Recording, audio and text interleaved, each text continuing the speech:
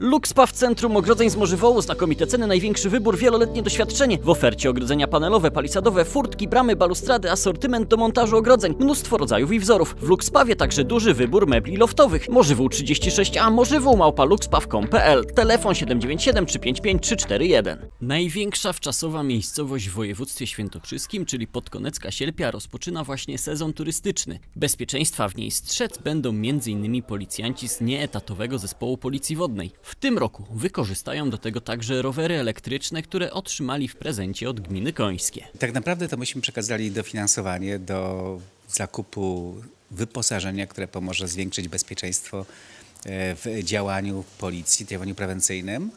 E, ponieważ e, po zakupie jednego z samochodu zostały jeszcze pieniądze, a na drugi to było za mało ze względu na wzrost cen, uzgodniliśmy z panem komendantem, że te pieniądze mogą być przeznaczone na zakup rowerów, bo w warunkach no, znakomitej e, pod względem turystycznym e, naszej gminy, e, tych warunków interwencji, e, które wymagają mobilności jest, jest bardzo dużo. I nie wszędzie da się wjechać samochodem, nie wszędzie też patrole piesze są w stanie szybko zareagować. Rowery elektryczne o dużej mobilności, bo sam napęd elektryczny w przypadku tych modeli pozwoli na to, pozwala na to, żeby osiągnąć zasięg około 80 km y, bez większego wysiłku, no to jest coś, co pozwoli zwiększyć bezpieczeństwo i na Sielpi, jej szlakach y, y, spacerowych, uruchomionych od niedawna, ale też na szlakach rowerowych, trudno dostępnych dla, dla samochodów, czy też niedostępnych dla samochodów. Zbiornik wodny w Sielpi przez cały okres wakacyjny odwiedzają setki tysięcy turystów. By zapewnić im bezpieczeństwo, wiele lat temu policja zdecydowała się na utworzenie w letnisku specjalnego posterunku. Będzie on funkcjonował także w to lato. Służba będzie, będzie pełniona na terenie zbiornika całodobowo w, nie, w ramach nietatowego zespołu policji wodnej. W skład tego zespołu wchodzi 14 funkcjonariuszy. Będą to służby patro, w patrolach e, pieszych, w patrolach zmotoryzowanych, w patrolach rowerowych, jak również w patrolu z wykorzystaniem łodzi motorowej na terenie zbiornika. Otaczające akwenlasy uzbrojone są w wiele szlaków pieszych oraz mniej formalnych ścieżek rowerowych. Nowe elektryczne rowery mają pomóc funkcjonariuszom docierać do takich miejsc. Są to nowoczesne rowery akumulatorowe o aluminiowej konstrukcji, ważą niespełna 30 kg. Ich zasięg może sięgać do 100, kilo, do 100 km.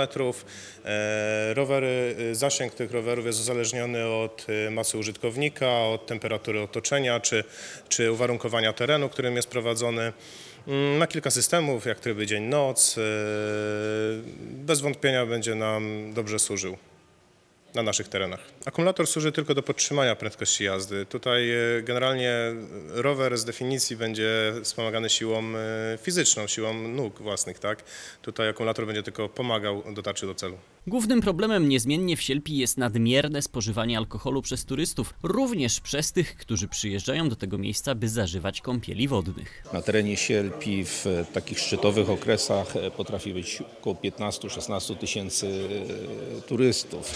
E, nagromadzenie pojazdów, osób. E, wiadomo, im większa jest e, liczba osób, tym może dochodzić do sytuacji konfliktowych związanych z parkowaniem, z zabezpieczeniem mienia, a przede wszystkim też z przestrzeganiem BHP, jeśli chodzi o kąpiele wodne.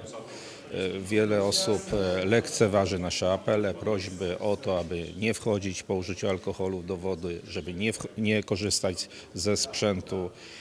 No i to jest chyba największy, największy problem, który w poprzednich latach skutkował e, tragicznymi sytuacjami, a więc e, utopieniami, to było trzy osoby w tamtym roku, także, także to jest największy problem, jeśli chodzi o Sielpie. Nad bezpieczeństwem na akwenie od 1 lipca czuwać będą także ratownicy wodni wynajęci przez samorząd miasta i gminy Końskie. Służby swoimi patrolami wspomagać mają również strażnicy miejscy.